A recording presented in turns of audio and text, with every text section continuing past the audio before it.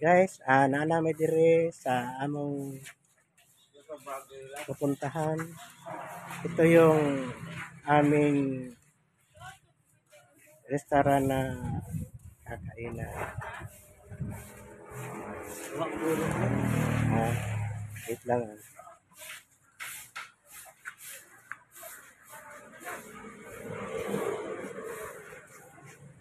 Okay lang, te. Inyo busy pa ang mga tauhan dito. Oh, guys, hello, hello, hello, te. Oh. Eh, medyo busy pa mga tauhan. Maaga pa kasi. Ito po yung naka, naka-reserve na po yung kakainan namin. Ito po.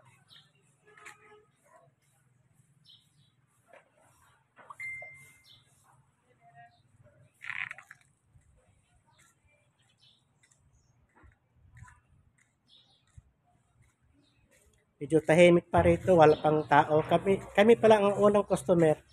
Maaga pa kasi mga ano, 8.30 a.m.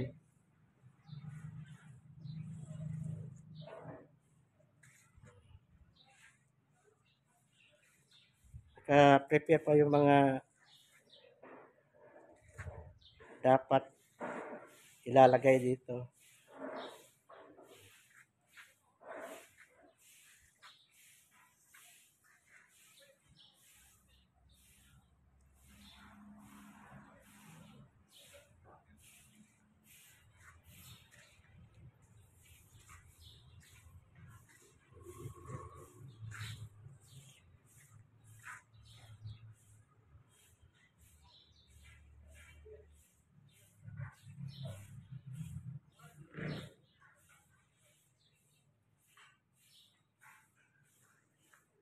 Hindi ko alam kung sa kaming table kami uupo dito.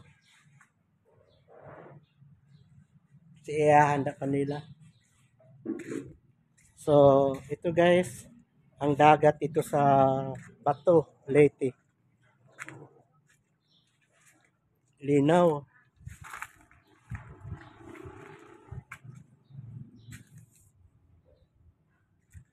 So guys,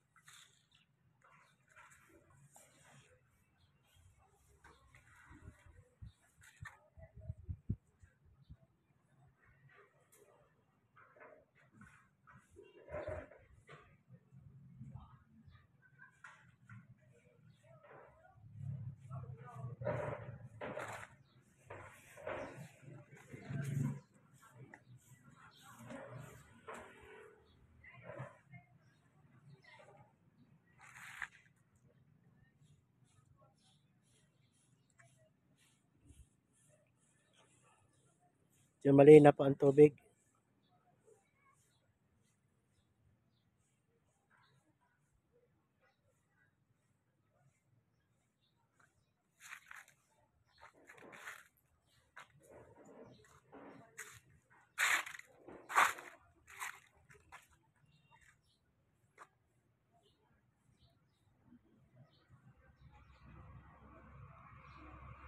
Yung kulay na po, yung, yung Bato Baywalk, yung may maraming kulay. Pero lampas na po kami dito sa proper.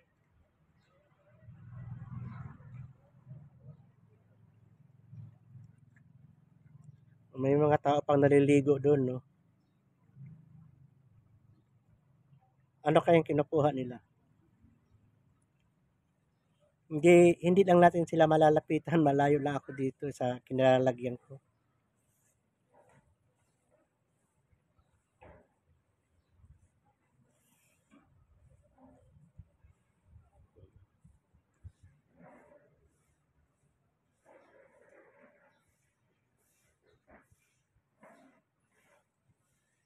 Yung islang yon, yon po yung Canigaw Island. Matatanaw dito. Pero malapit lang yan. Kaya lang, bago ka pum- pumunta roon, pupunta ka muna doon sa Matalom. Doon kasi ang sakayan papunta roon sa isla. Pero malapit lang ang Matalom dito.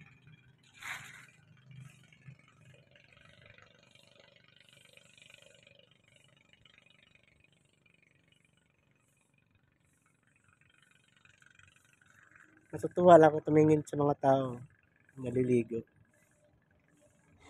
Alam ano, ano kayong kinukuha nila. Sa banda row naman, maraming bangka.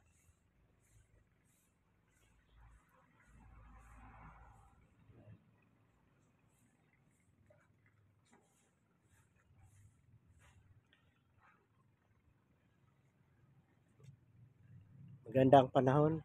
Sana wag umulan mamaya.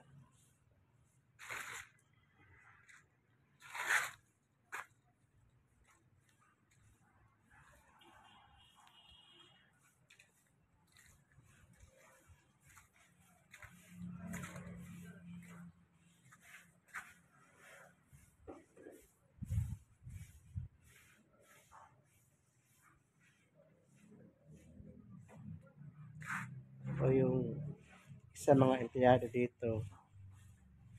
Kasi kaso yung mga ano mga tibol